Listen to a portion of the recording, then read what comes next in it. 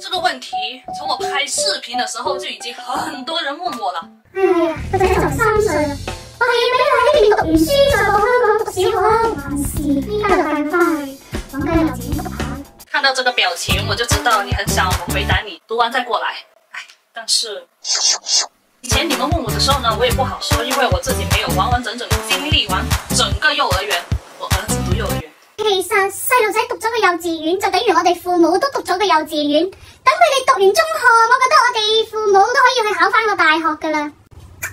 就是我两个孩子都是读，像你们说的公立学校，唔使钱嗰只。但是这些学校呢，买书是要自己出钱的，三千或者两千多，三千块，三千多样。香港这边学校呢，一般是两文三语。简单的来过一下，我女儿两岁的时候接触到的书，这两本呢就是英语书，都是非常的简单，一些字母啊，然后一些简单的单词认识一下，还有一些英语的小小绘本，看都是简单的句子，然后普通话呢是男孩子吗？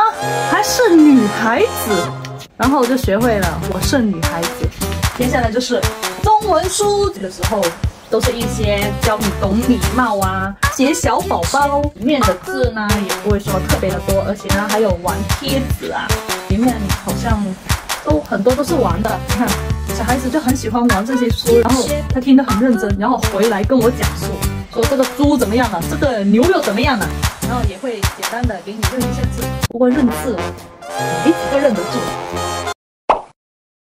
好了，重点来了。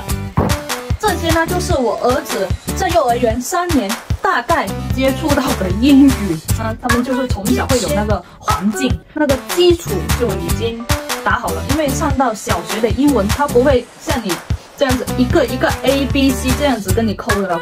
这边小学就不抠这些字母的，一次过就一次性默完，就直接教你句子的了。这些呢，就主要是自然拼读，三年有一年有两册，那大概就是六册。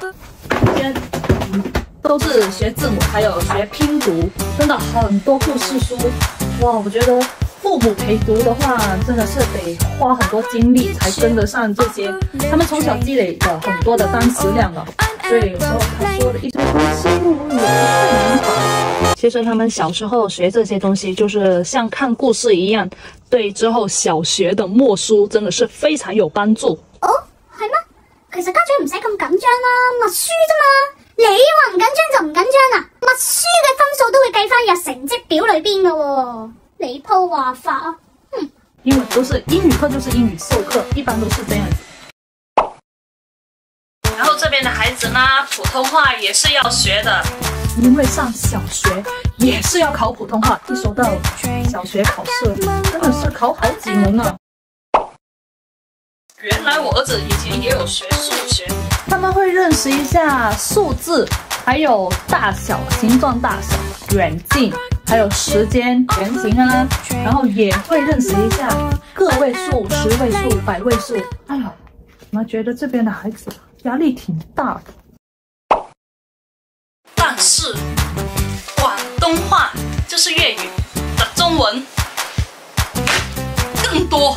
而且还有一些我没有保留下来。中文书呢，都是用广东话，就是粤语来授课的，非常的重要。嗯，会涉及到一些常识，然后例如这个是讲健康的，教小孩子要吃什么呀，然后有也有什么讲礼貌的一些书，还有大自然的一些书，还有一套就是故事书，也会教他们一些节假日，认识我们有多少个节假日啊之类的。而年兽来了，我觉得这个也挺有趣的，就不会说让你读一些古诗词，他们重点我觉得重点是教孩子一些常识，因为小学也有常识这一个科目是要考试的，例如认识钱币，常就是教这个。水是怎样情况下会结冰？怎样才会形成一些灰色的云？还有一些环保的意识，也是从小就给他们普及这些东西，都是弄得比较有趣一些。别以为幼儿园不需要做作业，例如我儿子这个是应该是大班了，拐把小那么员。写数字，就是大班的时候也要完完整整的练字，都是为了小学打基础。这个是中班，中班就已经开始练字了。小班呢，哎，字母啊，给你认识的就圈起来，画线条啊，连线啊，锻炼一下手指的肌肉，就是会让你扭扭毛巾啊，撕纸条啊，印这些线条或者印一些 A B C 这样子印盖章，小孩子爱玩这些东西，给你。各种花样的玩，就是一些像画画的东西给你练这些线条，就是为了到时候方便写字。嗱，咁我老老实实讲噶啦，如果屋企背景唔系讲英文，亦都唔系讲广东话，同埋自己都冇咁多精力陪佢睇咁多书，但系我小学想带佢翻嚟读书，我亦都想佢成绩好。嗯，咁啊，咁就唯有依家带佢翻嚟读幼稚园噶啦。不过我亦都有朋友。